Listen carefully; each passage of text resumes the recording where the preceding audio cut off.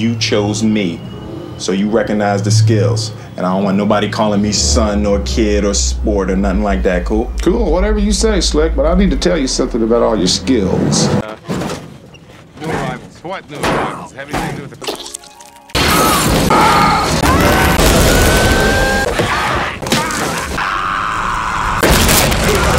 Bullshit!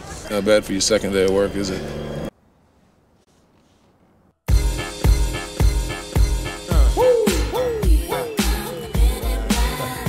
You don't like it? You can kiss my furry little butt.